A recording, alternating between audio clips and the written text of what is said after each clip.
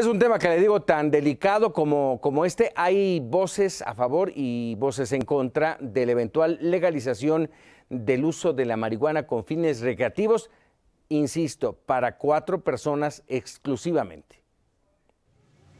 En el marco de la discusión del proyecto que busca otorgar el amparo para el autoconsumo lúdico de la marihuana, padres de familia, la coordinadora ciudadana y la agrupación Juventudes de Izquierda fijaron sus posturas en torno al tema. A nombre de grupos sociales y la Unión Nacional de Padres de Familia, su presidenta nacional, Consuelo Mendoza, pidió a los ministros rechazar el proyecto del ministro Arturo Saldívar. Al mismo tiempo, propuso a la Suprema Corte abrir un debate nacional con expertos en la materia. Consideramos que para decidir en este importante tema se deben escuchar todas las voces y no solo la de cinco ministros de la Suprema Corte de Justicia de la Nación.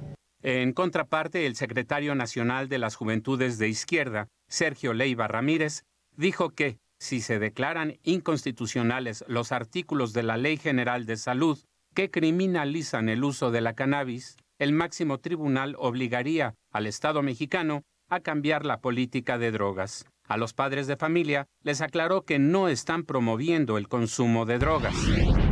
La regulación de la cannabis tiene que ir acompañada con política de prevención de drogas y segundo, lo más importante, tenemos que visibilizar a quienes son consumidores para que para ellos vaya la, la principal política de regulación y de salud en nuestro país. Gastón García Miranda, Noticias TVC.